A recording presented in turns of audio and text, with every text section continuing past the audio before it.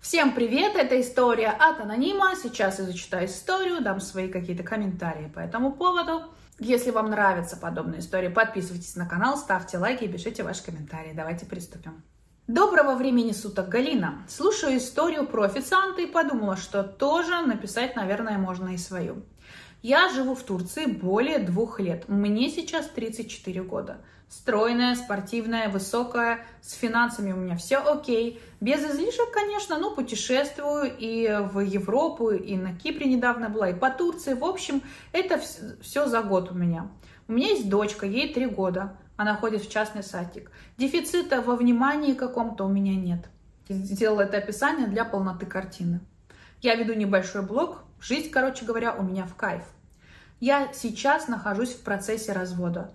Замуж, честно говоря, не особо планировала бы в будущем, да и отношений серьезных э, в ближайшие пару лет тоже бы не хотела.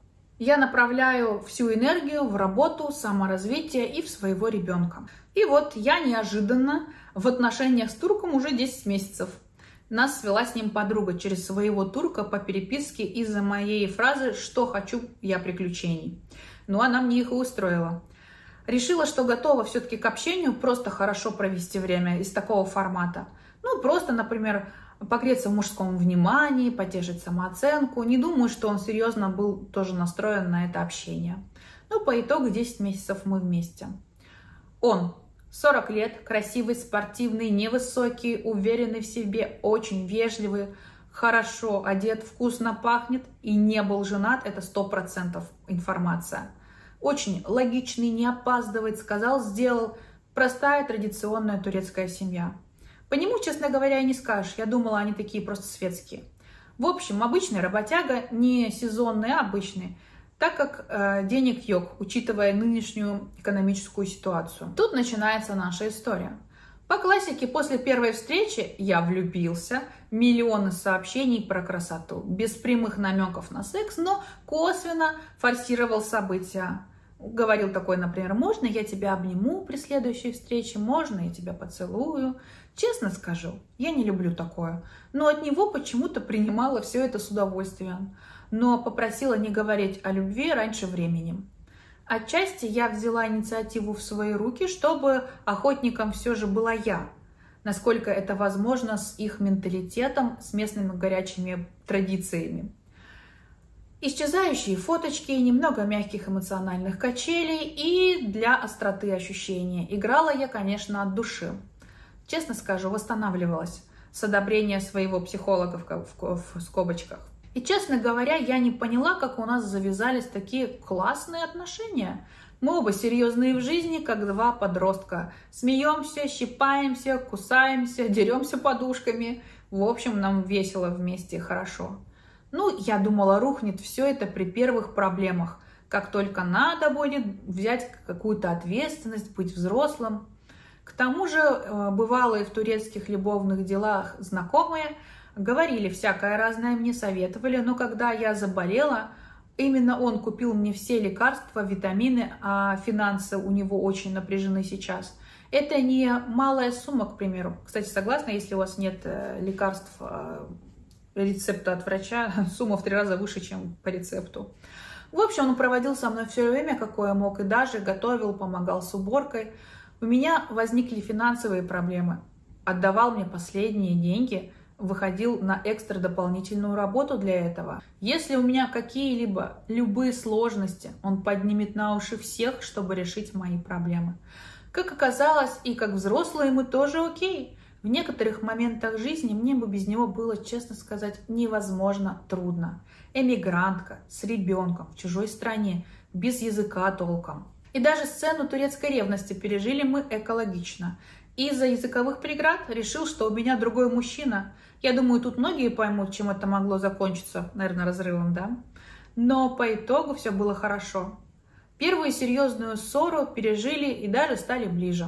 Пока выясняли, не виделись с ним целых две недели, общались по телефону, а, брали паузу, потом снова общались, проговаривали, в итоге договорились. Я в таком шоке после своего брака, что вот так может быть. Можно реально ругаться вот так, с пользой, с итогами, с разговором. Мы взаимно подстраиваемся под культуру и особенности менталитета каждого из нас. В общем, короче говоря, все идеально, кроме туманных перспектив. Я даже не сомневаюсь, что он сможет решить свои финансовые проблемы со временем. И кажется, пока мы вместе, у него появился интерес не просто работать, закрывая свои нужды и потребности, а что-то придумывать, развиваться, куда-то стремиться. Ну вот, будем ли мы семьей? Многоточие. Юридический брак меня не интересует. На это есть какие-то причины, без острой нужды, смысла я не вижу заключать этот брак. А вот жить вместе я точно захочу, если все пойдет и так дальше такими же темпами. И, видимо, тут как раз и будет у нас поставлена точка. Но сейчас, в моменте, боюсь про это, честно говоря, думать. Найти человека, с которым душа в душу ты с одной планеты стоит того, чтобы просто наслаждаться моментом многоточия. Но честно скажу, тут я чувствую у него какой-то пунктик на традициях. Он не захочет с семьей конфликта, тем более я не мусульманка. Ну и все же заранее боюсь, как может сложиться из-за разности финансов, э, сценариев наша семейная жизнь в будущем. Честно скажу, наверное, правильнее было бы найти мужчину из светской среды со схожим уровнем дохода. Мозгом одно, а сердце, честно говоря, говорит мне другое. Если решите прочитать и прокомментировать, будет очень интересно почитать комментарии, ваше мнение с точки зрения менталитета. Очень интересно тоже. Старалась э, писать кратко, насколько это возможно. Смотрите, а, мне кажется, вы, как вы написали психологу, там обращались, ходите, или, не знаю, систематически или еще как-то, вы очень правильно, здраво, здорово рассуждаете и правильно. Мы живем здесь и сейчас, наслаждаемся процессом.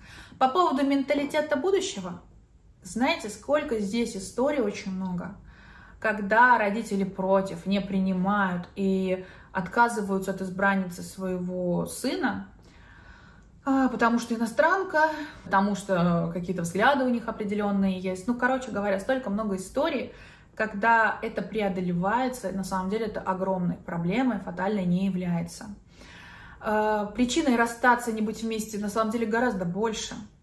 А, про менталитет, вот если вам душа в душу, вам классно, вам хорошо, он поймет, что это то, что он искал, а, захочет, там, не знаю, с вами брака, совместная жизнь, ну, короче, семьи, то ничто его не останавливает от этого, ничто ему не запрещает это делать. Все прекрасно. И он это возьмет и сделает, он с вами съедется. А, по поводу не захочет идти против своей семьи, вы не знаете.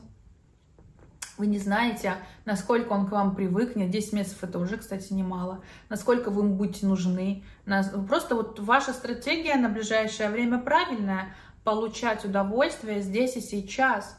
Для того, чтобы у него было сравнение как ему классно, чтобы он притягивался к вам больше, а, меньше хотел с вами расставаться, то есть понимал, что без вас ему, например, плохо, или мог сравнить, как раньше без вас было плохо. Вот это все правильно идет. По здоровому сценарию развития отношений идет. Я думаю, что когда пройдет еще время какое-то, например, на столько же, например, год, он просто почувствует, что не хочет вас отпускать, что это нормально, что это здоровые отношения, и как такового менталитетного, назовем ментального проблем, конфликта, диссонанса не будет. Когда родители видят, у вас дочка тем более есть, да, когда ты видишь, что твой ребенок кайфует, он счастлив, ему хорошо, если ты нормально с головой дружишь, адекватный родитель, ты согласишься на все, что твоему ребенку хорошо. Эм, окей, тебе может не нравиться партнер, но ты видишь, как светится твой ребенок, как ему классно, как о нем заботятся, как они там, не знаю, не ругаются, э, очень мирно там живут, э, помогают, как вот, вот он начал там больше, например, зарабатывать, что-то напрягаться, интерес какой-то к жизни появился. Нормальные, адекватные родители будут этому рады, э, примут с, с ребенком вас иностранку, не мусульманку. Это вообще решаемые вопросы на самом деле. Если мы берем Понимаете, это индивидуально от семьи зависит. Семьи бывают разные. Я знаю очень много семей, да, где могут там не принять. Я знаю также много семей, которые с ребенком примут. Потому что у них в семье культ ребенка. Не просто о чуджук, как в Турции, а вот в их семье примут любого ребенка. Всех детей любят. Это добрые люди. Они примут тебя там, с тремя детьми. Они будут им как родные. Это от семьи зависит, от микроклимата в семье. Если ты не мусульманка, ну они попросят а, имам никях сделать, не просто свадьбу, да, а никях еще, религиозный брак, назовем так, аналог венчания. Блин, тут делают вообще-то. Нигде не прописано, что нельзя а, христианке делать. Можно. Просто вы знаете, такое дело not legal, просто не называют, не говорят вслух, но делают обряд для родственников, для близких, могут соврать даже, что вы, например, взяли религию, поменяли, но вы этого не делаете на самом деле. То есть обходных путей уйма, если есть желание их обойти. Поэтому я считаю, что э, вот эта база, здоровое, нетревожное, хорошее отношение, которое сейчас закладывается, продолжайте все так же, кайфуйте, не стесняйтесь быть в диалоге, говорить о своих желаниях тоже не стесняйтесь. Если вы когда захотите семью с ним или вместе вот жить, тоже не стесняйтесь об этом говорить. Не бойтесь, вы ничего не теряете. И если у вас будет разочарование, и он вам этого не захочет дать или не сможет, то, что вы хотите, ну, как минимум, вы спросите, а, не останетесь в неведании и получите ответ. Может быть, он вас не будет устраивать, но вы получите ответ. И вы будете уже решать, что с этим ответом делать, какие мне дальше действия предпринимать, что, как мне дальше жить, развиваться, там, быть с ним, не быть и так далее. То есть задача, делайте все как есть сейчас, э, все правильно идет, затем не стесняйтесь и не бойтесь озвучивать ваши желания, если они есть. И следующее, вообще выкиньте из головы историю про менталитет и все прочее.